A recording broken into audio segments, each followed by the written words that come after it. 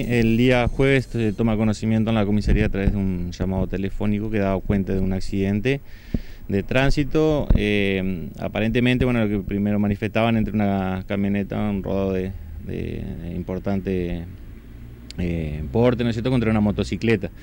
Eh, dicho accidente fue en la altura de Calle Ilia y la intersección con Liniers. bueno, por causa que se tratan de establecer, efectivamente se había producido la colisión entre la camioneta y la motocicleta, aparentemente la camioneta circulaba de norte a sur y en sentido contrario la, moto, y bueno, por causas que se tratan de establecer, que van a arrojar el resultado de las pericias, habrían colisionado, aparentemente la, camioneta habría intentado una maniobra de doblar en esa intersección, producto de, lo mismo, ¿no es cierto?, se, se efectúa la, la colisión. Eh, en ese sentido, bueno, se hizo presente la ambulancia y trasladó al muchacho lesionado, el de la motocicleta. Eh, aparentemente no hay lesiones de gravedad. Eh, así que bueno, lo que fue la motocicleta fue trasladada a la dependencia y el vehículo, la camioneta, fue entregada a su dueño. Bien. Bueno, este hecho y pasamos al viernes con qué otra situación. Sí, el día viernes por la mañana se realizó un allanamiento en un domicilio de esta ciudad. ello fue autorizado por la jueza de paz y familia local a través de un oficio, todo ello en el marco de, una causa por, violencia de género. Si bien en el domicilio no se encontraron los, efectos que interesaban, que eran armas de fuego, el propietario, ¿no es cierto? O sea, en realidad eh, a quien iba dirigida la medida eh, manifestó que poseía armas de fuego, las cuales no las tenían al lugar, pero las entregó voluntariamente.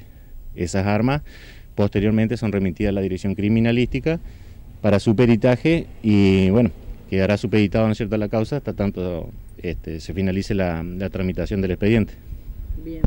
¿Alguna otra situación o bueno, lo que ya sigue es lo del evento que fue justamente denunciado por los vecinos?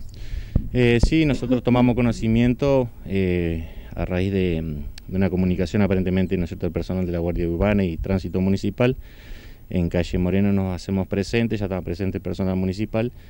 Eh, bueno, se estaba realizando una reunión entre varios jóvenes, eh, algunos de los cuales al momento de la llegada del móvil policial ya se habían retirado, quedando un grupito de más o menos de, 10 personas. Eh, bueno, a raíz, ¿no es cierto?, de las prohibiciones que están establecidas en el decreto de necesidad y urgencia, el 641, que estaba vigente hasta el día domingo, eh, se procedió a la notificación de estas personas, como así también del propietario del lugar, o por lo menos el responsable, ¿no es cierto?, de la organización de este evento. Asimismo, también personal municipal labró sus actas correspondientes. ¿Tiene conocimiento de multas de qué importe se cobran por este tipo de causas?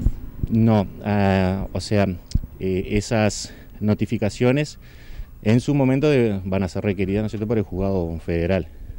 De ahí en más, las medidas que se irán a tomar nosotros las, desconocemos, los importes de, las multas o eh, este, algún tipo de, pena ¿no es cierto? Que, que se establezca. En cuanto a las notificaciones que labra el municipio, bueno, yo creo que em, en el decreto que sacó en uno de los últimos momentos, ¿no es cierto?, referido a, sobre todo lo que es la reunión social con una determinada cantidad de personas que excede lo que estaba permitido en su momento, seguramente bueno, tendrá su aplicación. Bueno, ¿quiere hacer referencia a algún otro hecho? No, no, hemos, en ese sentido, en cuanto a lo delictual, hemos tenido una jornada, un fin de semana bastante tranquilos y mucho movimiento, ¿no es cierto?, de, gente. Bueno, se estuvieron realizando operativos en conjunto con, el municipio, procediéndose a la retención preventiva tanto de vehículos como de, motos, eh, las cuales, ¿no es cierto?, fueron trasladadas al depósito municipal por distintas infracciones de tránsito.